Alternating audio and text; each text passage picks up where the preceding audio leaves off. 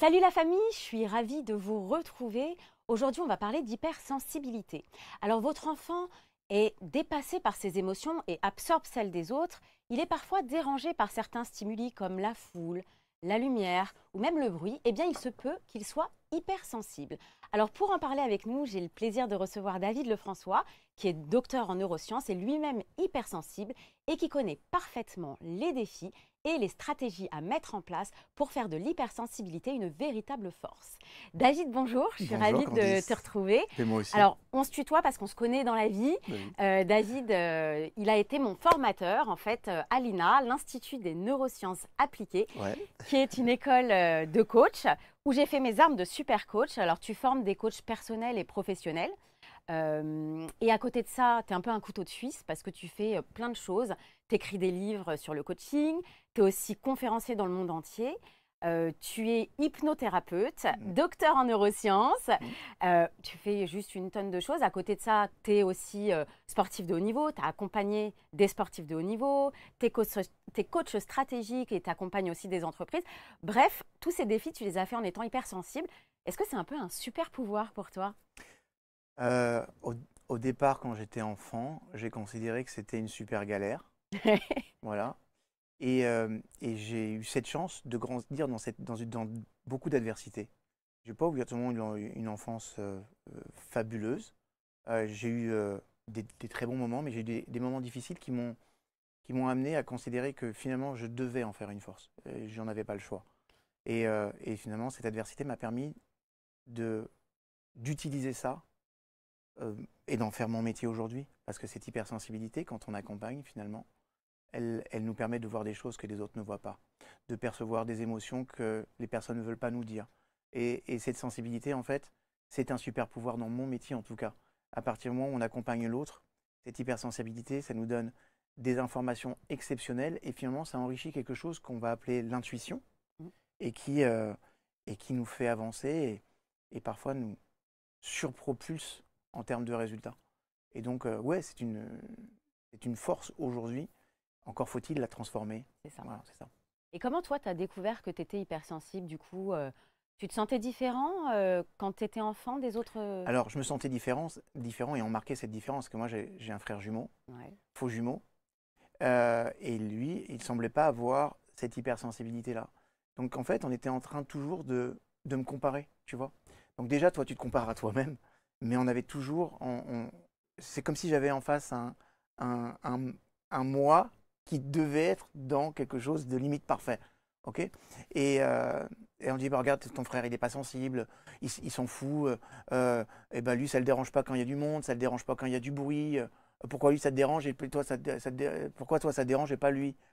C'était culpabilisant presque? C'était en tout cas, euh, mes, mes, parents ne comprenaient pas.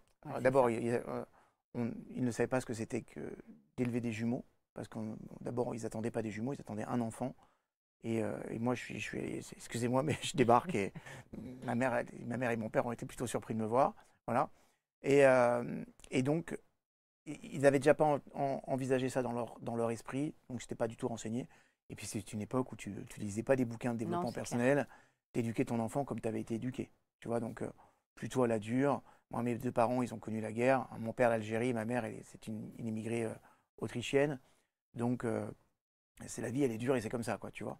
Donc, euh, pas trop s'écouter, donc euh, ces trucs d'hypersensibilité, c'était presque euh, quelque part, bon, on met ça de côté, ça va, soit, soit fort et.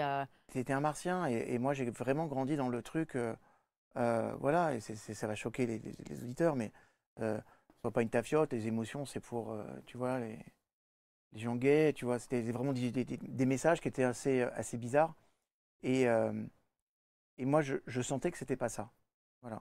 Je sentais que c'était pas ça.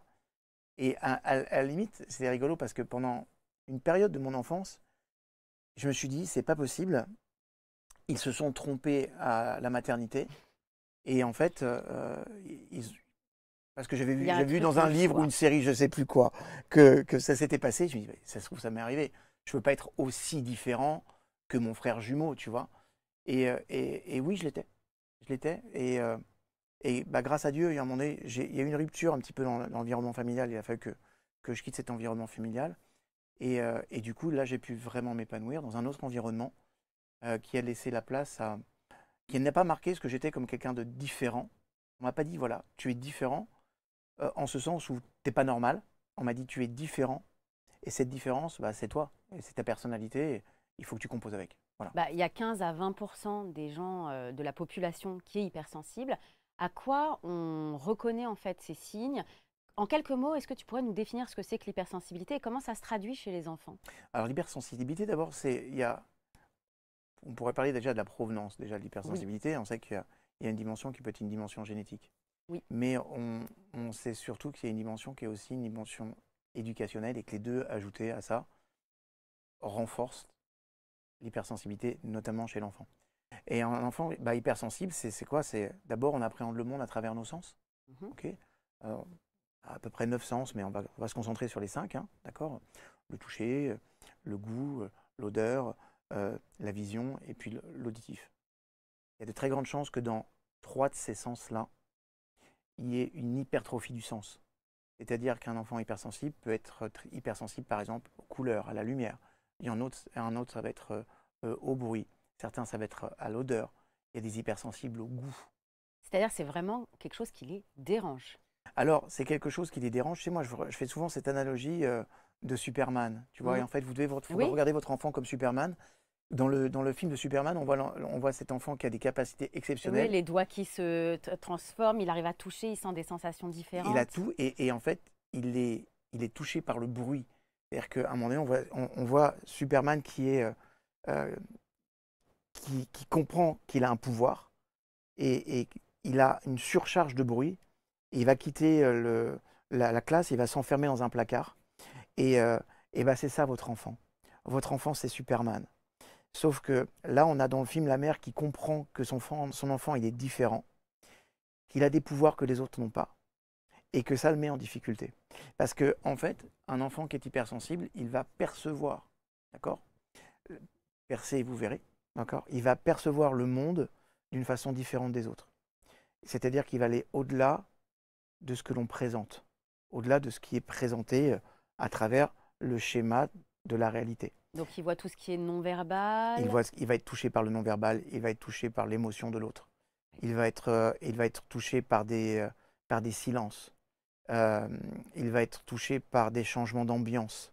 C'est un, enfant hypersensible, il arrivera dans une pièce, il sera capable de détecter quand deux adultes ils se sont disputés, même, si, même il y a une heure, à travers juste, parfois même, la dimension énergétique.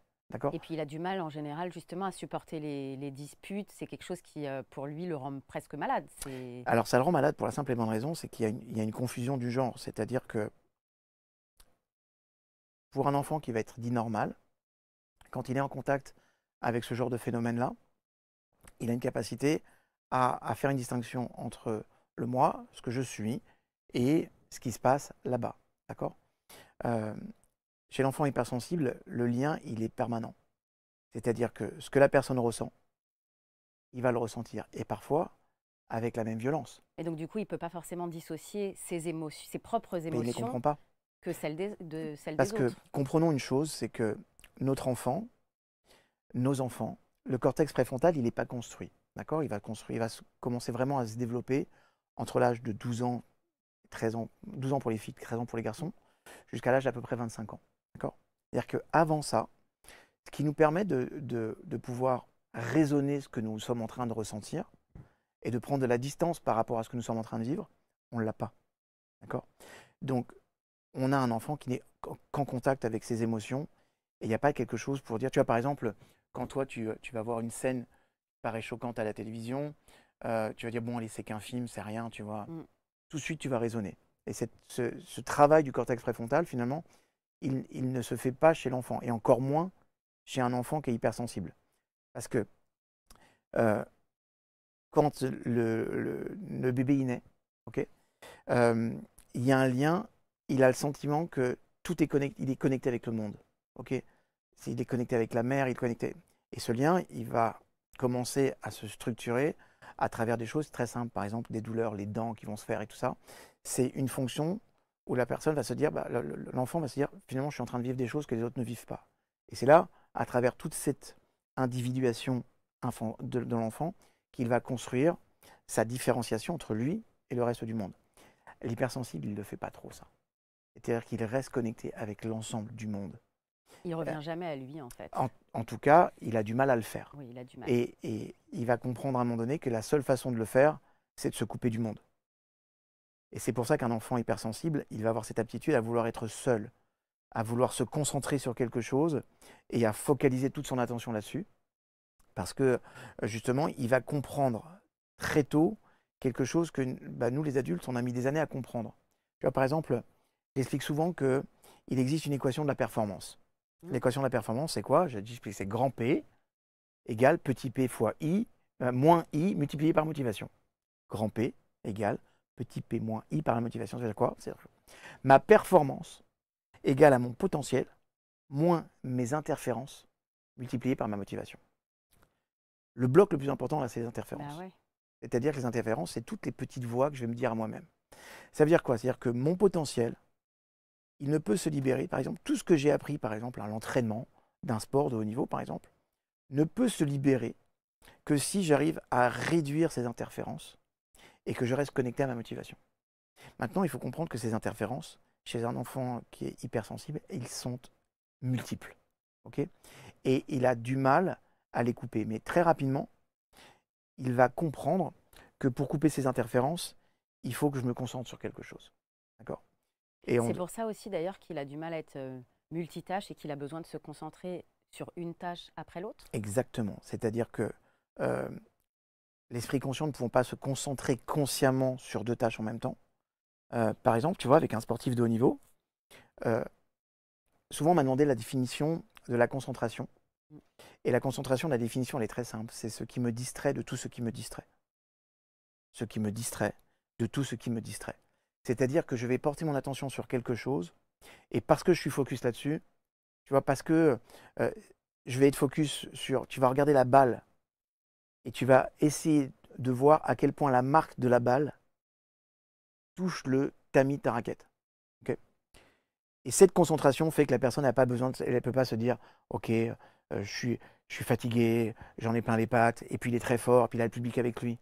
Donc ça coupe les interférences. Donc pour ralentir les interférences, il faut concentrer son attention.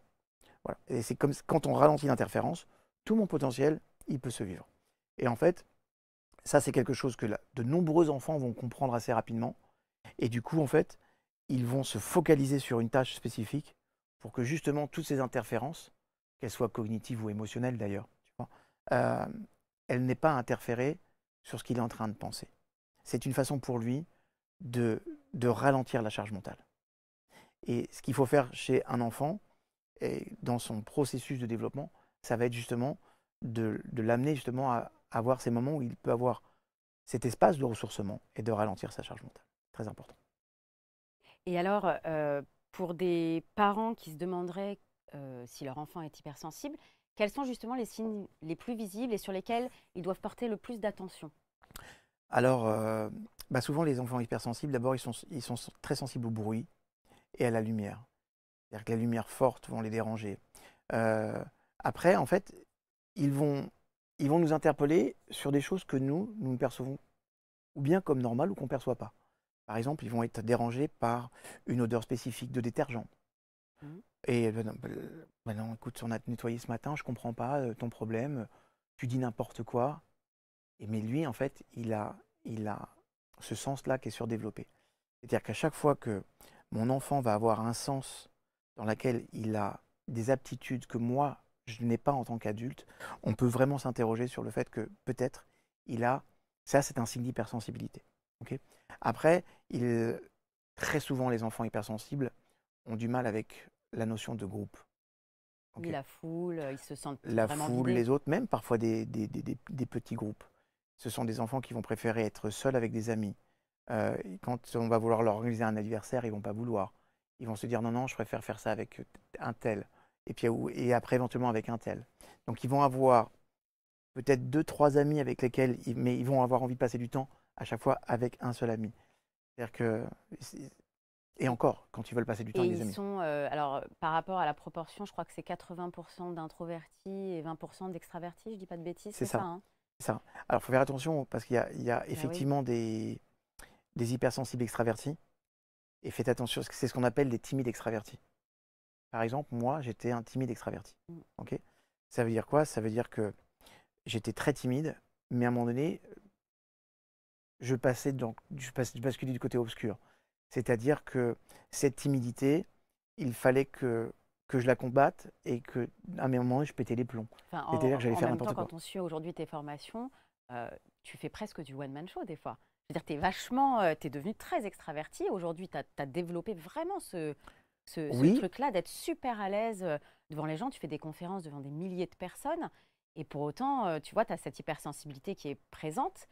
Et aujourd'hui, quand on te voit, on se dit pas, on se dit pas, ce mec-là, il a été timide. Non. C'est vrai.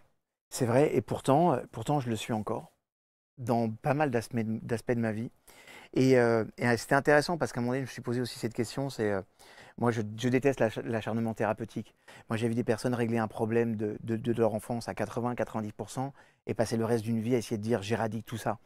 Et finalement, j'ai considéré que, tu vois, cette partie de, timidité que j'ai, c'est aussi ce qui me permet aussi d'être humain. Tu vois, peut-être que si j'avais outrepassé ça, je serais devenu ou orgueilleux ou, euh, une personne que j'ai pas du tout envie de devenir. Et je trouve que cette retenue-là, elle, euh, elle me protège. En tout cas, j'ai considéré qu'elle me protégeait. Maintenant, euh, j'ai beaucoup de mal avec la foule, en vrai. Alors, quand je donne des conférences, c'est particulier parce que je suis là pour délivrer quelque chose que j'aime. Et, et je considère que les personnes qui viennent là, sont des personnes qui partagent les mêmes valeurs qu'avec moi, que, limite, elles peuvent avoir besoin de ce que je vais leur transmettre. Mais, par exemple, tu vois, les, les, bains de foule, euh, quand je vais au Canada, par exemple, les personnes viennent s'agglutiner pour prendre des photos, des choses comme ça, euh, même parfois aussi en France. J'ai du mal avec ça, tu vois, ça me, ça me, ça me dérange. Il se passe quoi dans ton corps, justement, à ce moment-là? Je me sens, euh, je me sens pas agressé, mais je me sens pas à l'aise. Tu te sens vidé? Tu te sens comme si on t'aspirait euh, ton énergie euh? Ouais, un peu. Puis après, euh, après parfois, je ne comprends pas toujours pourquoi. Tu vois ce que je veux mmh dire ou pas? Je dis, bon, je vois, voilà, je suis. J'ai rien fait d'exceptionnel, tu vois, soyons, soyons clairs. J'ai délivré un message et je, l'ai fait avec le cœur. Ça fait pas de moi non plus. tu vois. Non, mais c'est toujours pareil. C'est-à-dire que si tu es là et qu'une personne, en fait, elle est là, toi, tu te rends pas compte que pour elle, le chemin pour aller jusqu'à toi, il est énorme. Toi, mais, et toi, pareil, tu regardes euh, au-dessus et tu dis, mais attends, il y a toujours, je peux encore aller encore plus loin. Donc, finalement, c'est cette distance qui fait entre les deux personnes que euh, la personne va te regarder effectivement avec des grands yeux en disant, mais waouh, il a fait tellement de trucs. Et puis, toi, tu n'as pas encore ce, ce, niveau de conscience, en fait, il est juste différent. Oui, et puis surtout, moi, je, je considère que ce que je fais est dans, dans ma normalité à moi, tu vois. Je, je, j'ai juste, je suis juste une personne chanceuse qui, considère que j'ai vraiment de la chance de vivre de ma passion, de pouvoir la partager. Et, c'est aussi beaucoup de travail. Oui, c'est vrai. c'est vrai. Mais euh, moi, je très considère. prolifique, tu proposes un, énorme contenu sur ta page YouTube où tu, tu fais énormément de, choses que tu donnes gratuitement pour les gens. Je veux dire, ça te demande énormément de travail quand même derrière. Il y a des heures et des heures passées à étudier. Euh, même s'il y a des facilités, c'est évident. Euh, ça te demande énormément de boulot de transmettre tout ça quand même. Oui, c'est beaucoup de travail en même temps. Euh, c'est aussi l'avantage d'être dans, dans, ta passion. C'est-à-dire que euh, c'est du boulot, il faut que je fasse attention. Parce que je pourrais facilement, tu vois, bah, m'épuiser physiquement. Et j'en ai payé le prix quand même. Ça, c'est important de le dire. Ils sont plus, justement, ils sont plus épuisés, les hypersensibles en général? Évidemment. Évidemment. Parce qu'on parce qu'on est des éponges. C'est le fait d'absorber les énergies des autres Oui, oui. Enfin, les émotions, les énergies. Et, euh, tu vois, par exemple, moi, même si euh, la, plupart des personnes, quand elles me voient, elles me voient dans un environnement euh, de formation mmh. ou de, de conférence, je suis quand même quelqu'un qui a besoin d'énormément de solitude. Tu vois, par exemple, moi, j'ai des, studios de tournage à, Tel, Aviv. je pars le matin, je rentre en fin de journée, tu vois, et j'ai passé une grande partie de la journée tout seul, tu vois. Euh, ou bien à étudier, ou bien euh, euh, à tourner des vidéos, à faire de la recherche, tu vois. et j'aime ça, tu vois. Alors je vais, je vais tolérer facilement mes animaux, Ok, parce que c'est ça aussi, c'est une chose très importante. Euh, si vous avez des enfants euh, hypersensibles, euh, les animaux aident énormément, et particulièrement les chiens. Pourquoi ça aide justement C'est une connexion. Alors je sais qu'ils ont une connexion particulière, une intuition particulière avec les animaux. c'est quoi ce lien particulier? Écoute, Comment s'explique? en, en, hébreu, en hébreu, chien c'est Kelev. Et Kelev c'est le cœur. Et en fait, on dit que dans le, la façon d'écrire l'hébreu, chaque mot mm. euh, va désigner la fonction. ok? Et qu'élève, c'est le cœur, c'est-à-dire que la fonction d'un chien, c'est donner que de l'amour. ok? C'est-à-dire que parfois, un enfant hypersensible va se sentir rejeté de son environnement. Et quand il va se sentir rejeté de son environnement, il faut qu'il ait une zone d'amour inconditionnel. Et il n'y a, a, pas un animal au monde comme le chien pour te donner de l'amour inconditionnel. Et moi, je me, je me rappelle que quand euh, j'en pouvais plus, j'avais une chance inouïe, c'est que j'avais la maison de mes parents et la maison de mon grand-père qui était juste à côté. Et euh, je, mon grand-père, c'était un refuge. Pourquoi? Parce qu'il avait un chien qui s'appelait Rudy. Et, euh, et, je passais des heures avec ce chien. Et, parfois seul, je le promenais, j'étais seul. À l'époque, on n'avait pas en plus les, tous les téléphones portables, donc je passais des heures entières de silence dans la forêt avec mon animal, ou bien m'entraîner à faire du sport. Euh, après, euh, mon grand-père était un homme profondément apaisant. C'est quelqu'un qui parlait peu, mais qui parlait juste. Et ça, pour moi, il m'apaisait. Euh, alors que les, membres de ma famille pouvaient trop parler pour dire n'importe quoi, et, surtout pour souligner du doigt que j'étais ce que j'étais pas.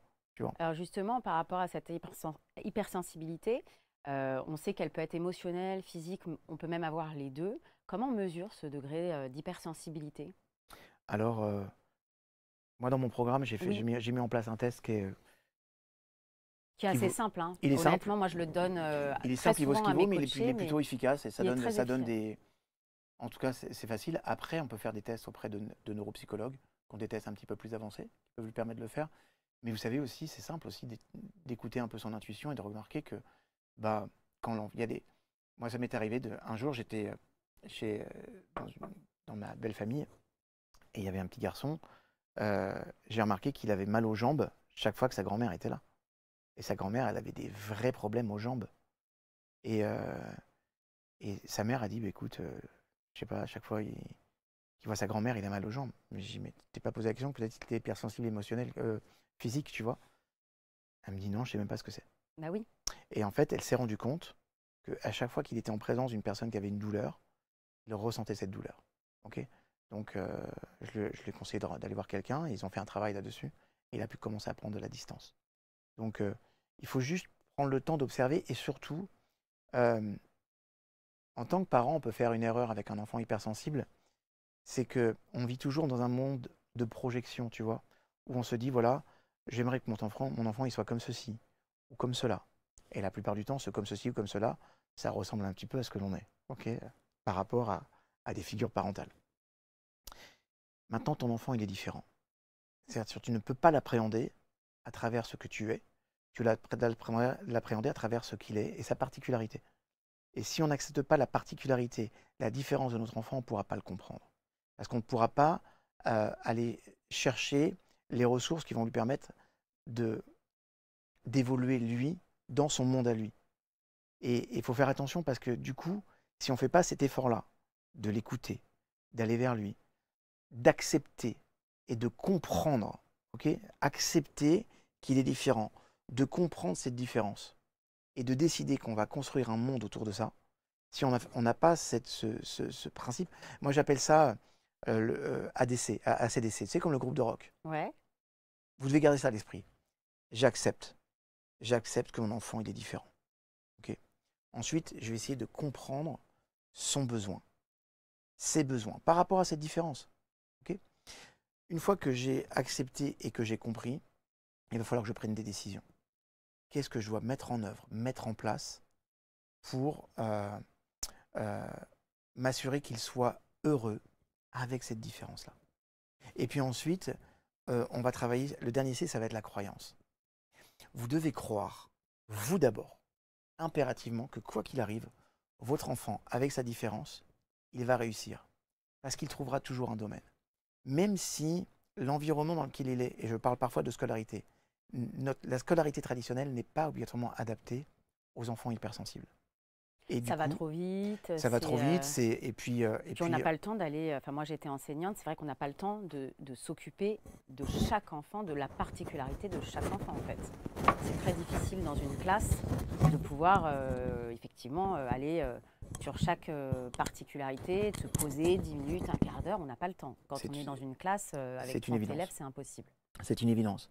Et du coup, en fait, c'est important de ne pas incriminer l'enfant. Mm. C'est juste de comprendre que l'environnement tel qu'il est proposé n'est pas adapté à celui-ci.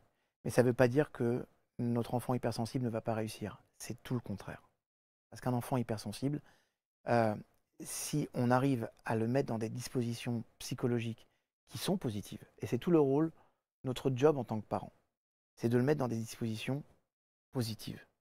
Eh ben, il trouvera sa voie, et, et dans sa voie, croyez-moi, il sera bon il sera bon et il va développer des aptitudes hors normes. faut juste faire confiance à ça. faut juste faire confiance à cette dimension-là. Et, euh, c'est pour ça que ce dernier, ce dernier essai de la croyance, elle est importante. je voudrais vraiment rappeler quelque chose à toutes les personnes qui nous regardent, c'est que les enfants n'écoutent pas ce que l'on dit en tant qu'adultes. Ils observent qui nous sommes. C'est très important. Combien de parents euh, euh, vont dire à leur enfant en hurlant, tu arrêtes. Mmh. Tu arrêtes de, crier maintenant bah Exactement. ça n'a juste pas de sens, quoi. Et là, bah, l'enfant, il a son cortex préfrontal qui n'est pas formé. Donc, il ne raisonne pas le truc, il fait attends. Il n'est pas capable de dire, je pense que ma mère est dans une espèce de décomposition émotionnelle. Elle est en train de compenser une charge émotionnelle qu'elle n'est pas capable de gérer. Donc, elle est en train de refouler cette charge émotionnelle. Il n'a pas ça. ok? Donc là, il va dire, ok. Enfin, les parents non plus, hein, en général. je te l'accorde. Beaucoup d'entre eux, en tout cas. Et, euh, et en fait, l'enfant, il va regarder sa, mère ou son père, il va dire finalement, toi, pour obtenir quelque chose, tu cries. Bah, c'est ça le modèle. Bah c'est ça le modèle. Et on obtient exactement le contraire. Donc c'est important que finalement, face à cette adversité que représente l'hypersensibilité pour un enfant, face à cette adversité, l'enfant puisse voir dans le regard de ses parents que c'est pas un handicap. Bah, moi, je reçois beaucoup, on en parlait justement en préparant euh, cette émission, je reçois des parents qui me disent qu'ils sentent complètement en décalage en fait avec leur enfant, qu'ils n'arrivent pas à communiquer avec lui, qu'ils ne comprennent pas leur fonctionnement. Euh, et comment on peut aider ces parents à mieux juste communiquer pour que l'enfant accepte peut-être aussi euh, ben, qu'il y a cette différence et qu'il la vive mieux.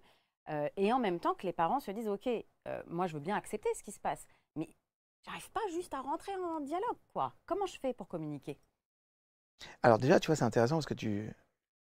Viens, on reprend le modèle. Assez mmh. laissé, d'accord?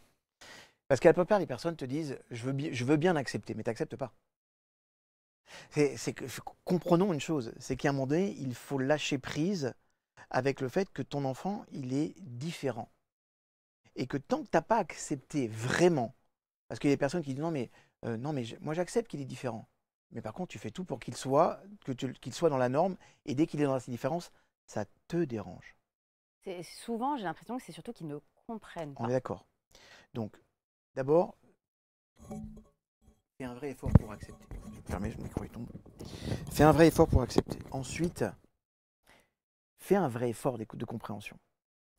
Son monde à lui, la façon de le percevoir, la façon dont il rentre en contact avec le monde est différent du tien et vous êtes en train de regarder une réalité commune, ok, mais on n'arrive pas à, construire quelque chose d'unique ensemble. Tu vois Très souvent dans les couples, euh, c'est un ami qui m'avait donné cette phrase-là. Il m'a dit, tu sais, pour construire euh, un, amour, un amour commun, il faut détruire deux amours propres. Et pour éduquer un enfant hypersensible, il faut, il faut laisser tomber son amour propre si on veut construire un amour commun avec son enfant. Parce qu'il n'y a rien de pire. Il y a un truc à lâcher, quoi. Bien sûr, il y a un truc à lâcher. C'est-à-dire qu'il faut vraiment que. C'est la projection c'est la projection. Il y a des peurs. Il y a des peurs parce que la peur du parent avec un enfant qui est différent, c'est de se dire cet enfant sera inadapté dans ce monde. Maintenant, vous comprenez qu'il y a de plus en plus d'enfants hypersensibles. Ça veut dire que euh, il faut qu'on parte aussi dans la théorie de l'évolution. C'est que nos enfants, dans cette théorie d'évolution, ok, on a des enfants qui sont de plus en plus hypersensible. À quoi c'est dû? Parce qu'on disait tout à l'heure qu'il y a une part de génétique, donc il y a une part d'inné, il y a une part d'acquis, c'est aussi multifactoriel. comment, comment finalement on devient hypersensible? Bah écoute, ça reste encore un très grand mystère, en vrai. Et je me suis dit, moi, la théorie qui me semble la plus intéressante, c'est celle de, l'évolution. C'est de se dire que bah, depuis la nuit des temps, bah, l'être humain, en tout cas notre cerveau, il, évolue et nos capacités cognitives évoluent aussi. nos charges, notre capacité aussi à, emmagasiner de la charge cognitive, elle a évolué, même si elle semblerait qu'elle parvienne à un espèce de, seuil d'une certaine limite avec les réseaux sociaux aujourd'hui. Mais il n'en demeure pas moins que regardons ça comme le stade d'une évolution aussi.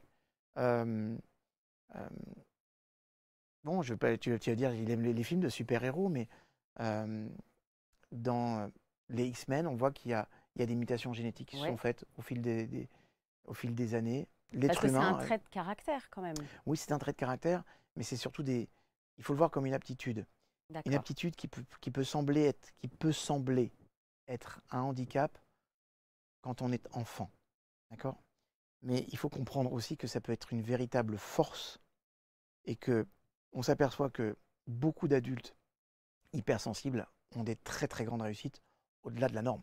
Justement, c'est quoi alors les avantages d'être hypersensible? Bah, C'est justement d'avoir une connexion à l'autre qui est, qui est incroyable. c'est de pouvoir percevoir des choses que les gens ne vont pas percevoir. C'est un hypersensible, il va regarder l'information. Alors, quand il sera enfant, cette même information, elle peut être hyper anxiogène, mais quand il va être adulte et s'il a fait un travail de développement personnel, il va voir cette information, il va percevoir, il va avoir facilement une vision par rapport à ce qui est en train d'arriver. C'est-à-dire qu'on a beaucoup de visionnaires chez les hypersensibles. C'est-à-dire des personnes qui sont capables d'anticiper et de percevoir par rapport à l'information qui arrive, de construire un avenir qui est un avenir différent. Et, euh, c'est pour ça qu'on a, on a des artistes, on a beaucoup d'artistes hypersensibles on a beaucoup de personnes qui vont être des visionnaires. On a beaucoup de. Chez les hypersensibles, on va aussi avoir beaucoup de, de créateurs. Vous prenez par exemple le créateur de ChatGPT, qui était à Tel Aviv il y a peu de temps. Euh, il expliquait que quand tu l'écoutes, c'est un hypersensible à 100% et dans beaucoup de domaines. C'est-à-dire que les personnes qui construisent le monde de demain, alors après, on adhère à l'idée ou pas, hein, mais les personnes qui construisent le monde de demain sont souvent des hypersensibles parce qu'ils ont des schémas de perception et vont percevoir l'information, ils vont être capables de faire des connexions dans les informations que les autres n'ont pas parce que justement ils ont cet entraînement là à percevoir une émotion. Euh, voilà. Donc, euh, et quels vont être du coup les défis qu'ils vont rencontrer en étant enfant Les défis, c'est de justement de ne pas se désocialiser.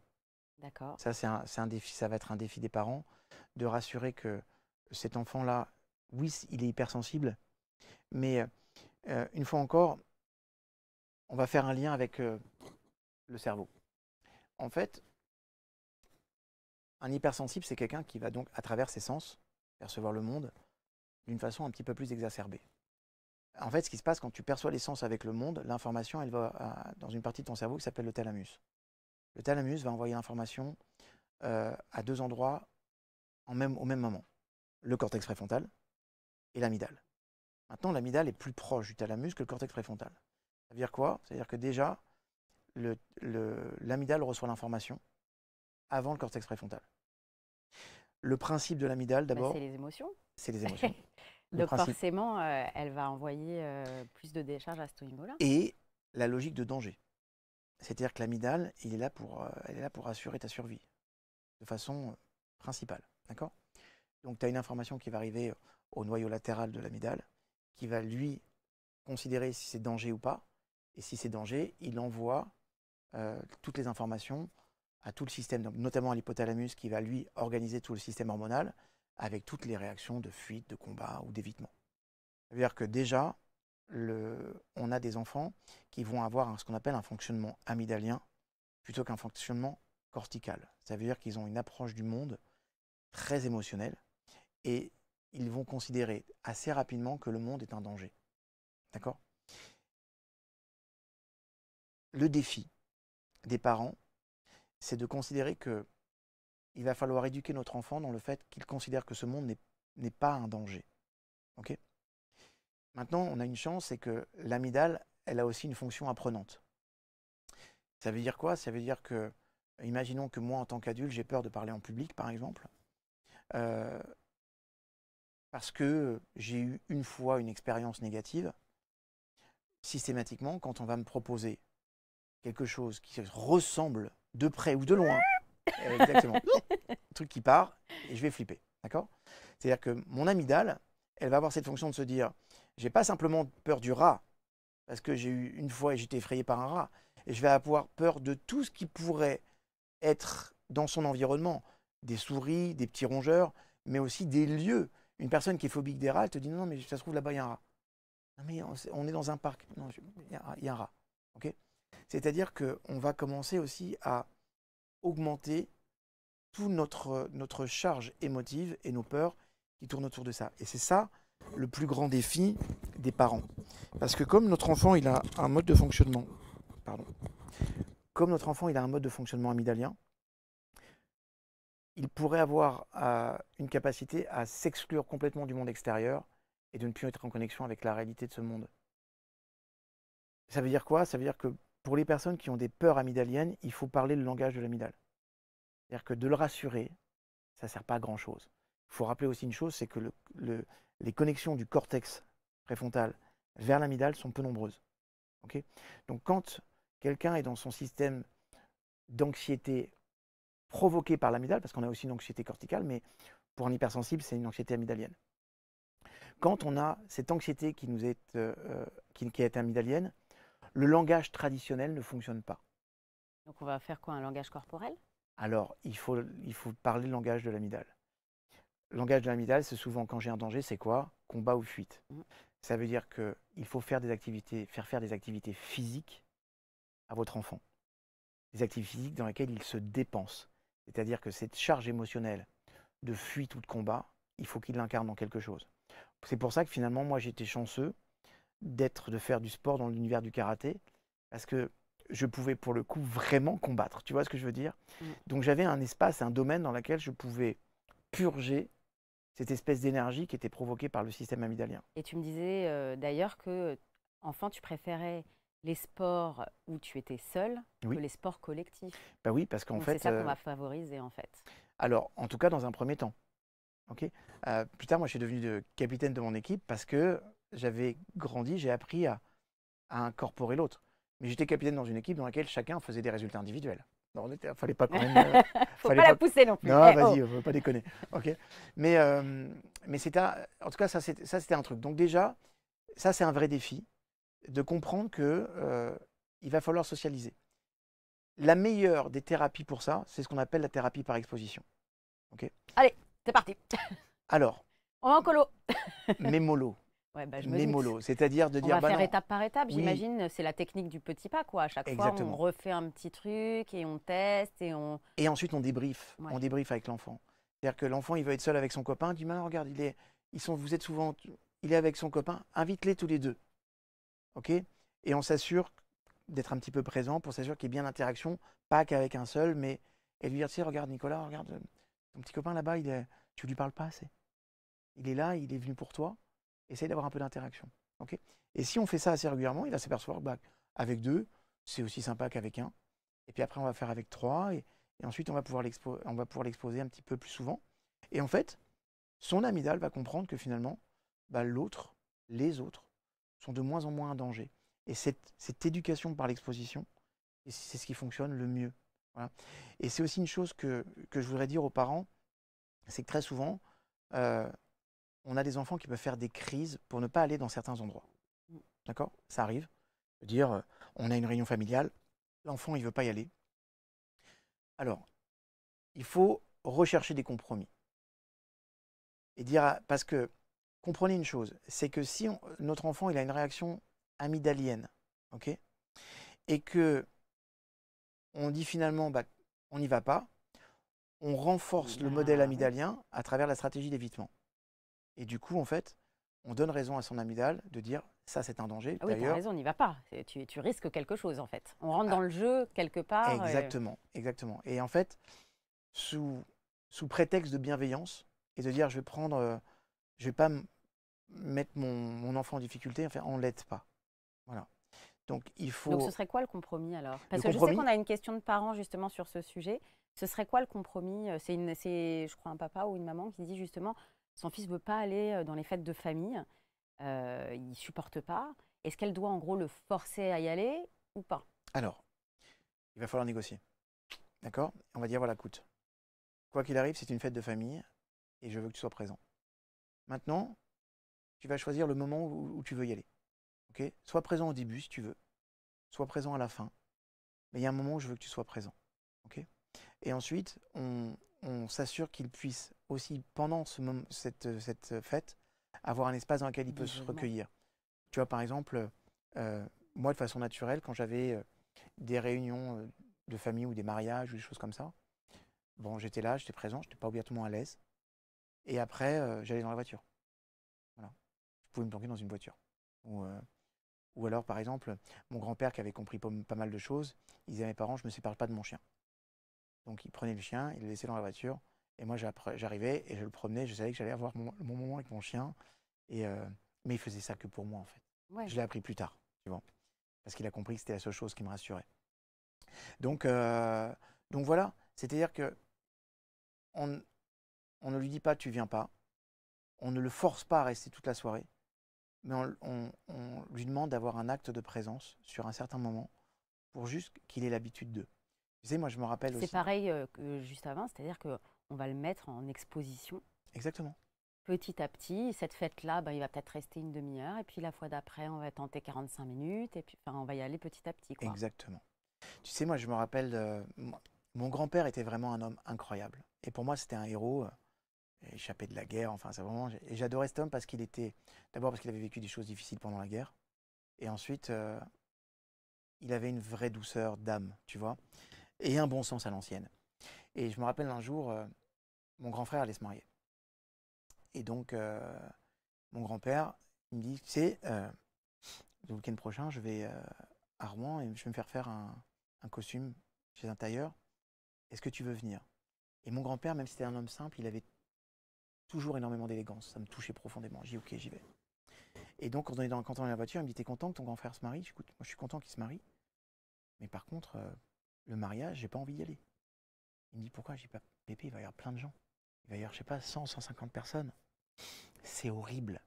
Mais qu'est-ce qu'il y a d'horrible Et puis, enfin, là, pour le coup, tu es vraiment exposé. Je veux dire, tu es le frère du marié, quoi. Grave. Et donc... Euh... Tu peux pas ne pas être là. Et, et un truc, il y avait pire que tout, c'est-à-dire que à l'époque, on est dans euh, la période du Smurf, tu sais. Le, Et mon frère avait préparé une, un truc de danse, ce truc. Et, et il fallait que moi, je participe à ça. franchement, c'était pas mon truc euh, du tout. Enfin bref. C'est-à-dire qu'une fois encore, j'allais être exposé à un truc effrayant. Et quand on est arrivé, donc il y a une rue qui s'appelle à Rouen, qui s'appelle la rue Gros Horloge, la rue la plus, la rue la plus passante et la plus commerçante. Et mon grand-père me regarde, je vais à l'étage là, toi tu viens pas avec moi, tu restes ici. Et je fais quoi? Il me dit tu vas demander l'heure aux gens. Que tu n'auras pas demandé l'heure à 100 personnes, tu montes pas. Et, moi là, je suis en colère, tu vois ce que je veux dire? Je comprends pas pourquoi il me fait ça. Il me dit bon c'est comme ça. Et mon, grand-père, il était doux, il était assez autoritaire. Et il dit je te regarde. Et donc bah, j'ai mis 10 minutes avant de demander la première euh, l'heure à une première personne. J'ai choisi une petite vieille. Je, me suis dit que c'était plutôt facile. Le problème, c'est qu'elle n'entendait rien. Donc, il a fallu que je répète 20 fois. Et ça a augmenté mon angoisse. Euh, et, voilà, j'ai fait ça une deuxième fois, une troisième fois. Bon, à partir de la dixième fois, ça allait mieux, tu vois. Et il y avait une boulangère qui était à côté qui m'a regardé demander l'heure 100 fois. Elle va dire Celui-là, là, il est vraiment pas normal. Et dès que je passais à l'un à l'autre, et parfois même les personnes, ils me, regardaient, ils disant je viens, je viens de te donner l'heure. Et oui, je sais. Et je demandais l'air à tout le monde, en fait. Et, une fois que j'ai compté mes 100, je suis monté, et là, j'étais en furie, j'allais voir mon grand-père, je dis, pourquoi tu m'as fait ça? C'est horrible. Et pourquoi tu m'as mis comme ça de, rencontrer... Euh, je vois pas l'intérêt. Il me dit, tu viens de rencontrer, de rencontrer et d'entrer en contact avec 100 personnes différentes. Est-ce que c'est si difficile que ça? Non. Ben voilà, c'est ce qui va se passer au mariage. Tu vas rentrer en contact, et parfois, ils vont juste te dire T'es qui toi? Tu auras juste à dire bah, Je suis le frère d'Alain. Voilà, c'est tout. Et après, tu passes. Ça sera comme demander l'heure. Mais Tu as demandé l'heure à 100 personnes, c'est génial. Et tu es rentré en contact avec 100 inconnus. Et ça, c'est vraiment important. Et euh, bon, je pense que mon, grand-père avait dû suivre ma formation de coach, mais il ne me l'avait pas dit, je pense.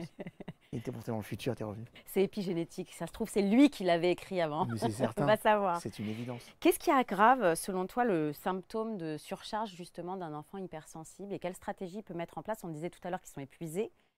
Qu'est-ce qu'il peut faire, à part l'isolement? Alors, euh, à part l'isolement, d'abord, il faut aussi réduire l'essence. Il, il, y a une chose qui est très mauvaise pour nos enfants hypersensibles, c'est les réseaux sociaux et le fait de swiper. Parce que on est, ils ont cette capacité à choper l'émotion et l'information très rapidement. Donc là, ça surcharge le, mental. Curieusement, ce qu'il faut faire pour nos enfants, et, d'ailleurs, il n'y a pas que pour nos enfants hypersensibles, il faut vraiment essayer de réguler ce contact avec ces réseaux sociaux, parce que ça augmente notre charge mentale, ça réduit notre capacité de volonté, ça a un impact sur, les, sur le cerveau. Enfin, ah on en a parlé mille fois dans ton émission. Et, euh, et, franchement, ce n'est pas, pas un cadeau à faire à, nos enfants, mais encore moins à nos enfants hypersensibles. Ça, c'est la première chose. La deuxième, euh, apprenons à nos enfants aussi à se relaxer. L'enfant hypersensible, il a besoin d'apprendre à faire des respirations. Euh, on a dit tout à l'heure que le fonctionnement, il était amygdalien. D'accord? L'un des langages de l'amygdale, dans sa réaction, c'est la respiration. Donc faire de la cohérence cardiaque, par exemple Alors la cohérence cardiaque, mais, pas, euh, mais pas, que. Pas que la cohérence cardiaque, c'est naturellement quelque chose qui fonctionne plutôt pas mal. Mais euh, si tu prends, euh, tu vas sous ta douche le matin, tu t'es trompé, tu as laissé la douche froide, la première réaction, ça va être... ouais, tu vas respirer donc du coup par le haut. Donc là, on va faire plus des respirations abdominales. Exactement. C'est-à-dire que dès que l'amidale se sent en danger, elle va saccader la respiration et ça, c'est très mauvais pour le corps, pour l'esprit, pour un tas de choses. Donc il faut vraiment qu'on apprenne à notre enfant à faire plusieurs choses. La première, c'est régulièrement, quand il sent que... Et lui apprendre que quand il commence à être angoissé, il faut qu'il apprenne à respirer différemment. C'est-à-dire je vais inspirer un peu plus longtemps. Et je vais souffler comme si j'étais dans une paille. D'accord? Et on va lui apprendre à faire ça très régulièrement. ok? Et il faut lui dire, voilà, de quoi tu as peur? C'est important aussi qu'il libère ses peurs. Parce que le problème, c'est que tant que les choses ne sont pas conscientisées, on, a du mal à pouvoir les structurer et justement à faire appel au cortex préfrontal pour essayer de tempérer tout ça. Donc euh, c'est important de, beaucoup communiquer avec notre, son enfant et qu'il verbalise les choses. Plus il va verbaliser, plus on va pouvoir lui, lui donner des versions différentes et utiliser des visualisations. Et pendant qu'il va verbaliser, pendant qu'il va exprimer ses peurs, on va lui faire respirer différemment. Ça, c'est important. Ce que je recommande aussi, c'est des bains de nature. Et je me, souviens dans ta formation, le fait de marcher pieds nus dans l'herbe, la connexion vraiment, euh, je veux dire, euh, c'était quelque chose de très important. toutes les personnes à qui j'ai fait ce test, tous me disaient, mais ouais, j'ai ce besoin, à chaque fois que je suis pieds nus dans la nature, il se passe un truc pour moi. Bien sûr. Vraiment, parce euh, que, et particulièrement sur pour les hypersensibles, parce que en fait, euh, d'être en contact avec euh, cette résonance magnétique du sol, c'est quelque chose de profondément apaisant. Voilà. Et puis ça ancre aussi, je pense. Ça ancre. Et puis un bain de nature, c'est naturellement sans téléphone, ok? Et c'est aussi un moment dans lequel on peut se ressourcer en silence. dernièrement, j'avais été interviewé par une chaîne israélienne sur les problèmes de charge mentale. Parce qu'en fait, en Israël, ils ont fait des études auprès des enfants. Et euh, ils ont d'ailleurs deux startups qui travaillent fort là-dessus pour mettre en place des systèmes permettant d'identifier la charge mentale d'un enfant et d'un adulte. En tout cas, ces startups ont commencé à découvrir que on est tous, tous attaqués en termes de charge mentale et on en prenait beaucoup trop. Et, euh, cette personne, euh, la journaliste, à un moment donné, m'a dit alors finalement, c'est quoi le secret? Pour réduire cette charge mentale. Et je leur ai dit, vous faites deux choses. Au moins une demi-heure par jour, vous faites un bain de nature. Une forêt, un parc, ok S'il fait beau, si vous le pouvez, vous marchez pieds nus. Sinon, c'est pas grave. On est en contact, c'est le principal, mais on coupe les téléphones portables. On, est en paix, en calme avec, avec soi et les éléments. Et puis, si vous êtes dans une dimension un peu euh, spirituelle ou religieuse, c'est un bon moment pour vous adresser à Dieu ou à l'entité que vous désirez. Et ça, c'est hyper apaisant. Parce que ça, ça réduit considérablement l'activité de l'amidale. Et quand l'activité de l'amygdale elle est réduite, régulièrement, quand on en fait une routine, eh ben en fait, on, limite son développement dans les jours après. On sait que par exemple, quand on fait ce genre d'exercice-là, dans les 5 heures qui vont suivre notre bain de nature, eh ben en fait, l'amygdale, elle est moins réactive. Et ça, c'est plutôt intéressant. Euh, et puis après, euh, je disais, la deuxième chose, c'est faites Shabbat. Alors, euh, dans le pays comme, comme Israël, c'est facile de faire Shabbat, mais dans... L'idée, c'est de couper, en fait, pour les gens qui ne connaîtraient pas, c'est l'idée, c'est de couper complètement pendant vraiment 24 heures et que voilà, ce soit complètement dédié finalement à autre chose que ce qu'on fait d'habitude. C'est ça. Donc on coupe effectivement bah, toutes les distractions, entre guillemets, le travail aussi. On coupe, on coupe d'abord, on coupe le travail, on coupe tout ce qui est ordinateur, tout ce qui est téléphone portable, électronique. On ne touche pas l'électronique. D'accord? C'est un, un moment où on ne doit pas produire quelque chose. D'accord? On ne doit pas produire mais c'est un moment où vous pouvez étudier. Un, et c'est un moment fort, puisque c'est un moment où on se retrouve en famille, à travers le repas du vendredi soir de Shabbat, puis le repas. C'est un moment où on, peut prier. Donc, euh, euh, donc c'est un moment de ressourcement, c'est un moment spirituel, c'est un moment où on met tout ce que nos obligations qu'on doit faire pour le travail, on les met de côté, et on rentre dans d'autres obligations, qui, qui, est de prendre soin de soi, d'être à l'écoute de soi, d'être à l'écoute de l'autre. Euh, euh, et, ce sont des moments aussi. Donc l'idée, c'est de couper vraiment les habitudes. Oui. C'est-à-dire que euh, on a de l'enfant, il est scolarisé du lundi au vendredi, et, et le samedi, c'est vraiment une journée qui est très différente où il il va lire. En tout cas, il n'y a pas de distraction. Non. et, il n'y a pas de téléphone portable, il n'y a pas tout ça. C'est pour se recentrer? Écoute, en tout cas, moi, depuis que je l'ai fait, que je l'ai structuré dans ma vie, les bienfaits ont été incroyables pour moi. D'abord en termes de créativité. Parce que quand ton, esprit est apaisé, tu es beaucoup plus créatif. Ensuite, en termes de gestion de mes émotions. Euh, et puis, en termes de ressourcement, en termes d'énergie, c'est super important. Parce que si on, ne, bloque pas ce rythme-là, la seule chose qu'on va avoir, bah, c'est de l'épuisement, en fait, en vrai. Et bah, chez un enfant hypersensible ou chez un adulte hypersensible, c'est encore plus vrai. Tu vois Donc, c'est important de se dire, alors, euh, appelez pas ça Shabbat, faites un free day. Mais c'est un jour où on ne touche pas les ordinateurs, on ne touche pas notre téléphone portable. C'est dur au départ, parce qu'on s'aperçoit à combien on est addict en fait en vrai. Mais, mais après, vous allez voir que moi, je me, une journée comme ça, c'est comme si je passais une semaine de vacances. Et, et ça veut dire que tout à l'heure, tu disais que j'étais un hyperactif, je le suis, mais je peux l'être que parce que j'ai organisé aussi ce moment où je me ressource complètement. Et, moi, par exemple, euh, quand j'ai terminé ma journée, euh, je prends mes deux chiennes, j'ai la chance de vivre à côté de la plage, je coupe mon téléphone portable et je me prends entre une demi-heure et une heure avec elles parce que bah, j'ai des chiennes et je veux pas qu'elles aient des vies de chiens, tu vois. Euh, donc c'est notre moment à nous, tu vois, d'une promenade, c'est le moment où je suis en connexion aussi avec la nature. Donc mieux scinder finalement aussi les moments. Mais tu disais tout à l'heure que les enfants hypersensibles ont vraiment besoin de faire une tâche après l'autre finalement, dans leur emploi du temps aussi, euh, on a, il y a beaucoup de parents qui ont tendance à surcharger. Euh, ah, il faut qu'il fasse du judo, il faut qu'il fasse du tennis, il faut qu'il fasse plein de trucs. Finalement, peut-être laisser plus de temps de récupération à l'enfant, pas surcharger en fait de plein de choses, qu'il est justement euh, une chose à la fois. Surcharger, il le fait déjà. Mais c'est pour ça, donc il va falloir qu'on lui enlève de la surcharge. Il faut qu'il ait, il faut qu'il ait une activité physique régulière, ça c'est une certitude. Mais il ne faut pas trop le surcharger non plus. Ça ne sert, ça sert pas à grand-chose. Parce qu'il est déjà surchargé mentalement. Donc, euh, ça ne sert, ça sert pas à gens. Tu vois, par exemple, moi, je vous donne un petit conseil qui m'a énormément aidé. C'est le monde de la télévision qui m'a appris ça.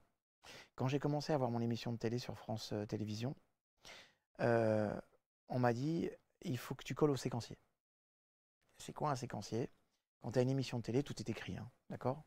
Euh, de Super Nanny à tout, tout est écrit. On te dit voilà, un séquencier, c'est on va te dire voilà ce qui se passe de telle heure à telle heure. On va tourner telle séquence, euh, bah, confrontation avec le mari, ensuite euh, écoute de la femme, observation des enfants, et à chaque fois, on a une intention. Donc la télévision va te dire ici on a l'intention que lui il réagisse parce qu'il est un petit mmh. peu mou du genou. Elle, il faut qu'elle se lâche, il faut qu'elle pleure parce qu'il faut qu'elle lâche ses émotions. Parce qu'il faut que ça se voit, il y a quelque chose qui doit se passer au départ, j'ai trouvé ça bizarre. Et après, je me suis dit, tiens, et si j'utilisais un séquencier dans ma vie? Mmh. Et en fait, le fait d'avoir des moments avec une intention, pour un hypersensible, ça l'aide profondément. C'est l'intention en fait qu'il a. C'est l'intention. Les moments, il les a. Il les a, mais en fait, c'est aussi important de les délimiter. Parce que quand on, dit, bah voilà, juste, je voudrais que tu fasses ça pendant une heure, et que tu as une heure, et quoi qu'il arrive, pendant une heure après, on arrête. Ok? Dans ces cas-là, il va pouvoir se concentrer un peu plus, et toutes les interférences, elles vont être limitées. Et c'est important de lui dire, tu as une intention là, cette intention, c'est quoi? Ok, tu veux jouer au jeu électronique, pas plus d'une heure. Je veux la PlayStation, pas de problème. Fais-toi une heure. Mais par contre, éclate-toi pendant une heure. Je veux que tu te, tu te lâches pendant une heure, fais les jeux que tu veux, ok? Et ensuite, par contre, je veux que tu te concentres sur, ton, sur, sur les devoirs de l'école, Et ensuite, tac, tac, tac. Et ça, là, c'est rassurant pour un hypersensible parce qu'il sait où et quand mettre son énergie. Important. Donc, euh, organiser des séquences, c'est pas mal. C'est rassurant en tout cas au départ. Alors, euh, je me pose une question par rapport au. Enfin, je pense que vous êtes nombreux à vous la poser aussi, parce qu'on a entendu souvent cet amalgame entre hypersensible et HP, euh, donc au potentiel. Est-ce que tous les hypersensibles sont forcément au potentiel Et inversement, est-ce que tous les hauts potentiels sont forcément hypersensibles? Non. non il, y a, il, y a une, distinction aujourd'hui, en tout cas, on l'a cru pendant de nombreuses années, c'est vrai, parce qu'il y avait une amalgame, comme tu dis, entre les deux. Mais il y a des personnes qui sont au potentiel, donc qui ont, des capacités cognitives très très fortes, et euh, qui n'ont pas obligatoirement euh, une sensibilité émotionnelle aussi forte que la dimension cognitive. C'est plutôt les hauts potentiels qui sont en général hypersensibles que les hypersensibles qui sont au potentiel hein, d'ailleurs. Exactement, absolument.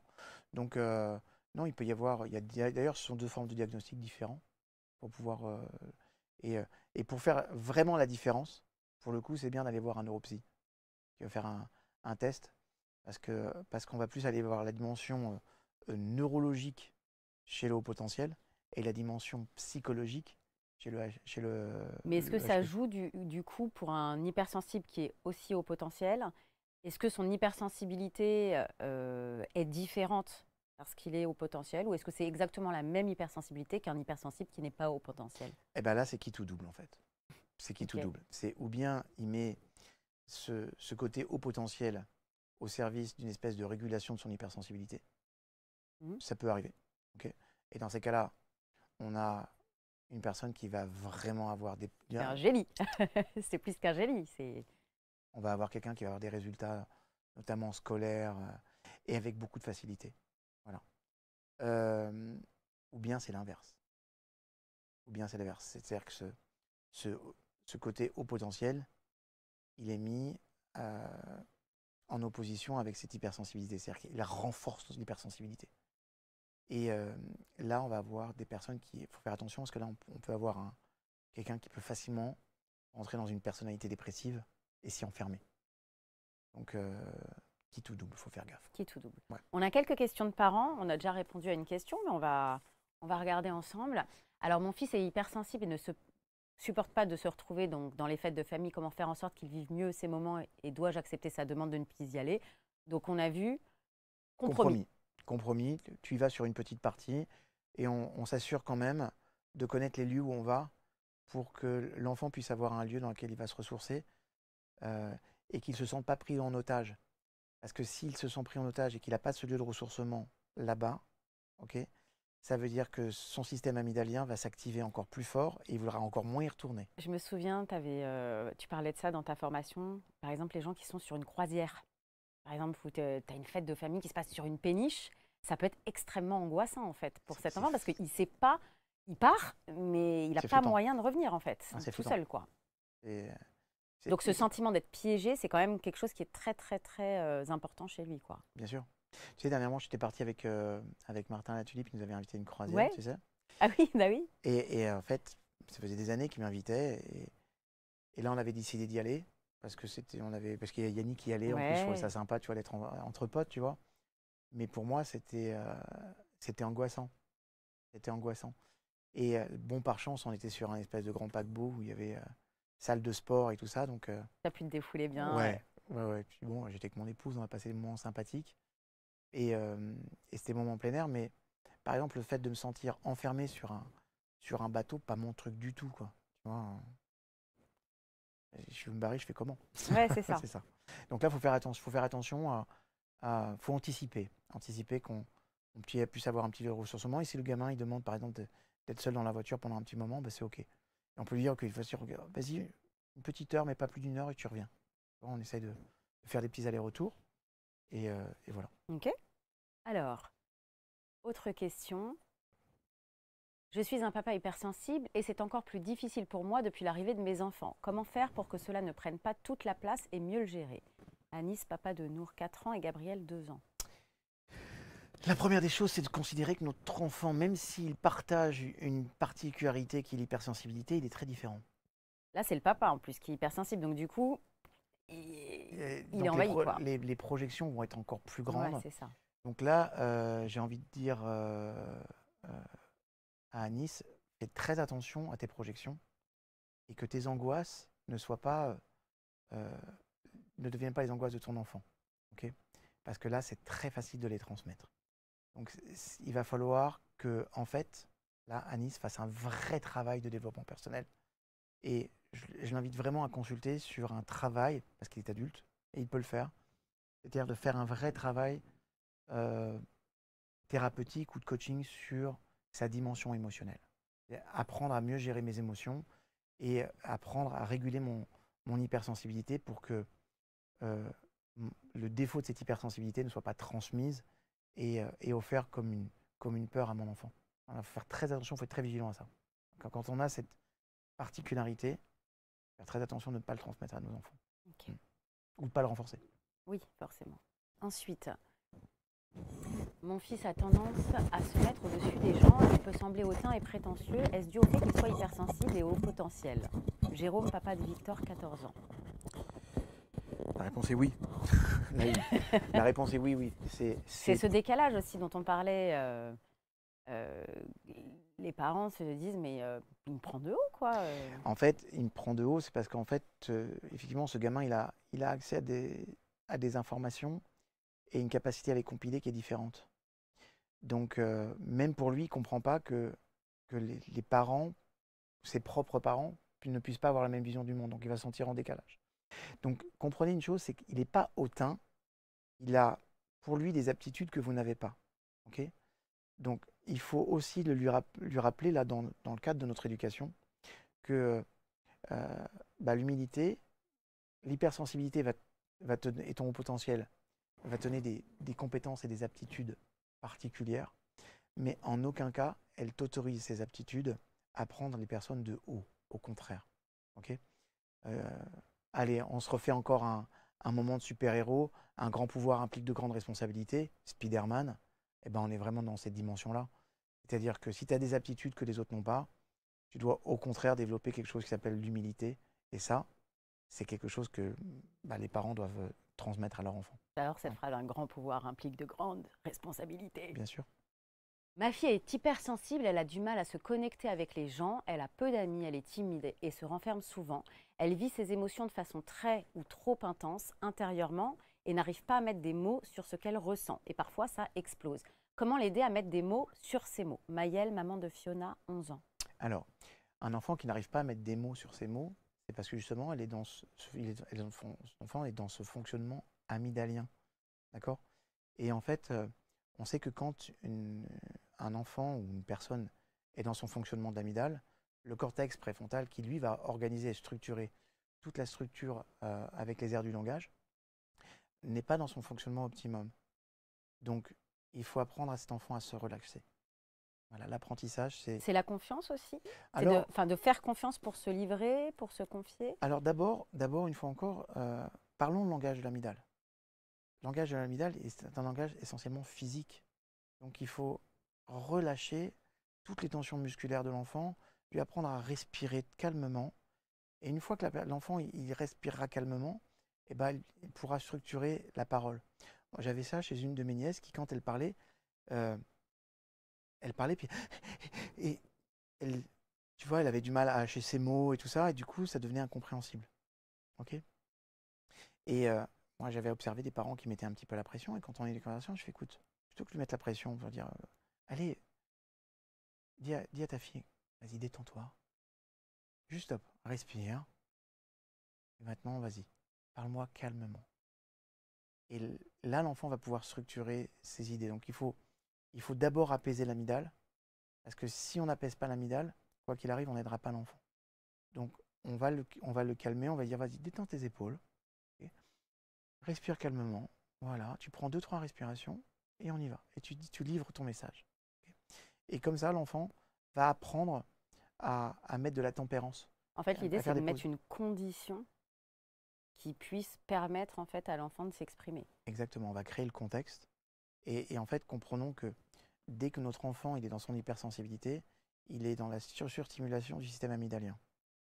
Et ça implique plein de choses, ok? Parce que l'amygdale en fait, elle est, cette amygdale, il y a deux, deux, amygdales en fait. Je ne vais pas développer là le détail, mais il y a différentes parties de l'amygdale qui sont connectées. C'est l'une des, des parties du cerveau qui est la plus connectée avec tout le reste du parti du cerveau. Donc c'est prioritaire à tout. Si on ne calme pas l'amygdale, tout le reste du fonctionnement, qui est un fonctionnement de raisonnement et, de calme, euh, ne fonctionne pas. Donc comprenons, système nerveux autonome sympathique, parasympathique, l'amygdale fonctionne que sur le sympathique. Et donc tout accélère. L'adrénaline, cortisol, dopamine, tout accélère. Alors qu'en en fait, il faut stimuler le système nerveux autonome parasympathique, où justement là, on peut le faire essentiellement par la détente physique, qui va déclencher une détente nerveuse, et la respiration. Donc on va dire à la personne, respire un petit peu plus longtemps, détends-toi, et ensuite tu reprends ton discours. Il faut vraiment qu'on apprenne à nos enfants à se relaxer, vraiment. Super, écoute, on a appris plein de choses. Merci euh, vraiment David pour cet éclairage. Euh, pour ceux donc, qui voudraient aller plus loin, euh, donc David a, propose sur son site davidlefrançois.com une formation qui s'appelle Neurosens, hypersensibilité et haut potentiel. Alors cette formation, elle a deux, buts en fait. C'est à la fois pour les hypersensibles bah, de pouvoir euh, finalement intégrer ce, trait de caractère dans leur euh, vie quotidienne, d'être plus autonome, d'être plus épanoui, de, se sentir mieux voilà, avec ça. Et en même temps, pour les personnes qui seraient avec des proches qui sont hypersensibles, de mieux comprendre, de mieux appréhender, et puis de mieux soutenir aussi les proches qui sont hypersensibles, que ce soit des enfants, des parents. Parfois, on n'a pas forcément les clés, et dans cette formation, tu donnes toutes les clés, que ce soit pour les personnes hypersensibles et pour les personnes qui ont des proches hypersensibles, pour voilà, faire de cette hypersensibilité une véritable force et un atout dans la vie. Donc c'est vraiment génial. Et je vous invite évidemment à regarder bah, tous les contenus gratuits que tu proposes sur ta chaîne YouTube, qui mmh. sont une mine d'or. Il y a des pépites. Et euh, vraiment, profitez-en. C'est assez rare, donc euh, vraiment, profitez-en. Et j'espère qu'on se retrouve très vite sur ce canapé sur, euh, pour parler d'un autre sujet. je sais que tu as plein d'autres sujets sur lesquels on, peut, voilà, on peut travailler ensemble, donc c'est chouette. Mmh. Et puis, ben, on vous dit à très bientôt. Merci. Alors, merci. D'abord, merci à, merci à toi de m'avoir invité. Et puis vraiment, je voudrais vous féliciter parce que vous faites un travail incroyable.